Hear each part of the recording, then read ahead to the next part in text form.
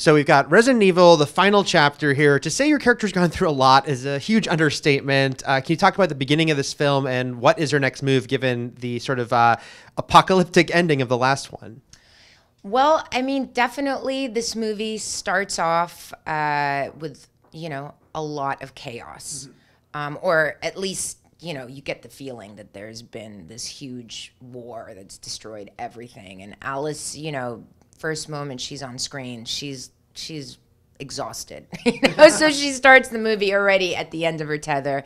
And then, you know, she's got to go back to Raccoon City and save the world in 24 hours. So it's one of those, uh, you know, adventures where you're on the clock. So it's really exciting in that sense. And uh, through it, you you meet all of these well-loved characters and new people that we haven't met before, and some crazy monsters. And it just keeps going and going. It's amazing.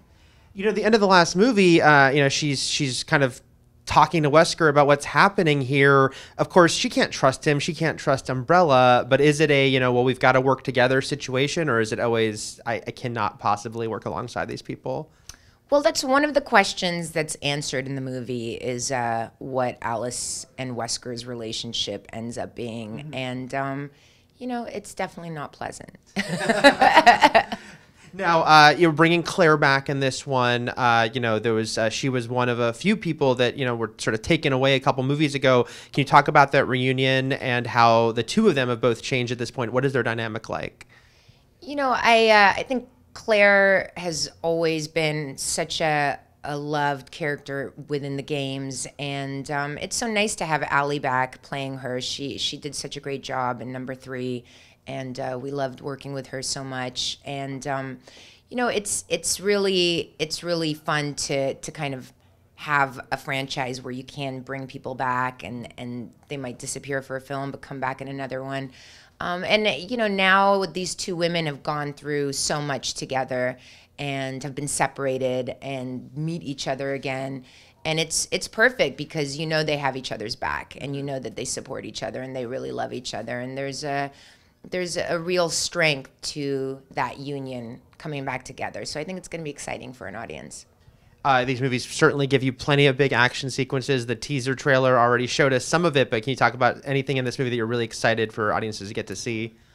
you know it's it's really hard to say because there's so much great action and the movie's terrifying there's so many great scares and amazing monsters and you know just things that we've never seen in the franchise before you know the thing that i'm most excited by is also you know my daughter playing the red queen she's uh, an eye-opener in this movie and that storyline is so intense and so exciting and you really get uh, an understanding of alice and where she comes from and who she is so it's fun The Red Queen is such an interesting character in these movies and has been this sort of ominous presence. Was that very interesting and fun for you and your daughter to play this very different dynamic than your day to day?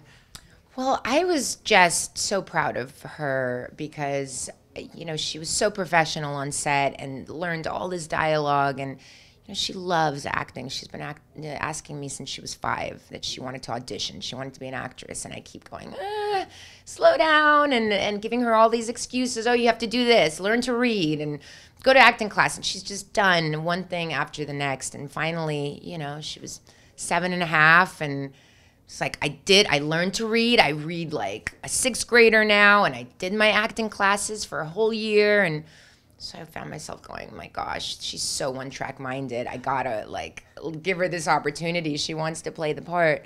But um, it was it was amazing to be on set with uh, with my daughter, and also, you know, there's a there's a great sequence where you see Alice, um, where you see Alice as an old person and you see the Red Queen and you see Alice, who you know me.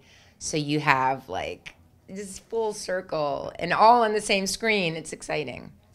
Uh, this is the sixth movie in a franchise that began in 2002. Uh, there's very few movies that get that sort of longevity with a franchise. What do you think it is that's been the secret to the success of Resident Evil? Um, well, you know, I guess it's been organic. I feel like a lot of franchises get sort of stuck in the rut of, oh my God, we need to come out on this date every year. We just need to get another one, get another one. And you lose the passion for it. It just becomes like go back to the grind and like turn it out, whether you're inspired or not. And I think it's sad because you you've seen like some amazing franchises that you know just got worse and worse because they were stuck in that kind of rut. So I, I think part of the the the magic of Resident Evil is that we never allowed ourselves to like be told, "Oh, we need another one." Well, you're gonna have to wait because we need a break. you know, like especially Paul, who spends a year, more than a year, making each film. You know, it, you got to decompress, you got to refuel, you know, get re-inspired, and um, so you know, we put these out every two, three years. Mm-hmm. You know, I think this has been the longest that we haven't put one out, and part of that was me being pregnant, and so we had to stop production, and um, you know have to have to have a baby. so uh, definitely, I think that is a big reason in in my head. I just think there's there's there's a passion that we have for these movies that that we didn't let you know people tell us what to do with them. Mm-hmm. Uh, lastly, it's it's billed as the final chapter. How much you know of a full wrap up does it feel like at the end? And you know, is the door open for more, or do you think that you know this is sort of putting a period on the end of the sentence? I think I think it's both. I mean, part of this movie is we always had an open ended ending. Um, so that's kind of stylistically been the choice. Uh, not because we thought we were going to make another one, but that's just how Paul liked to do it. Um, so, but I think this one does a good job of, you know, bringing it full circle. But then, you know, Alice is kind of going on to her next adventure. And, you know, she's not just going to sit around like, you know, having barbecues after this with like the survivors. I mean, she's not that person, you know. She's uh, she has to find her friends. She's got a lot of things that um, are left undone still. So, um, but at the same time, we bring her story to an end too. So uh, I think it's it's kind of the best of both worlds. You know, she she comes to terms with who she is and she moves on with her life. Well, thank you so much. Looking forward thank to the movie. You.